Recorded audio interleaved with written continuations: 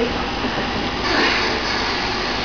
and gentlemen, owing to the hard suspensions of the Jubilee and Metropolitan lines to signal failure at Neasden, services have now resumed to all destinations, but both lines have severe delays.